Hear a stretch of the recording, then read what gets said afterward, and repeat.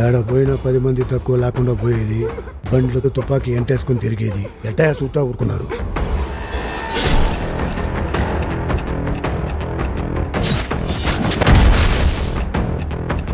వాడి తల తీసుకొచ్చుంటే ఇంకా సంతోషపడిద్దా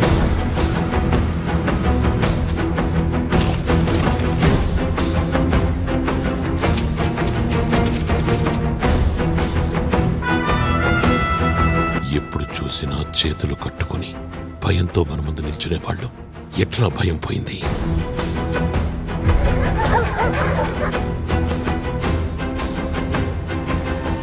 మనకు కావాల్సింది ఎవడైనా ఇచ్చిస్తాడు మనే కొట్టి తీసుకోవాలి కదా నాయనా.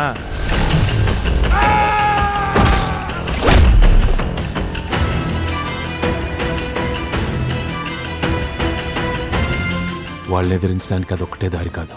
మన దగ్గర భూమి ఉంటే తీసేసుకుంటారు. డబ్బుంటే లాగేసుకుంటారు. కానీ చదువునొక్కటి మాత్రం మన దగ్గర నుంచి ఎవ్వరు తీసుకోలేరు చిన్నప్ప.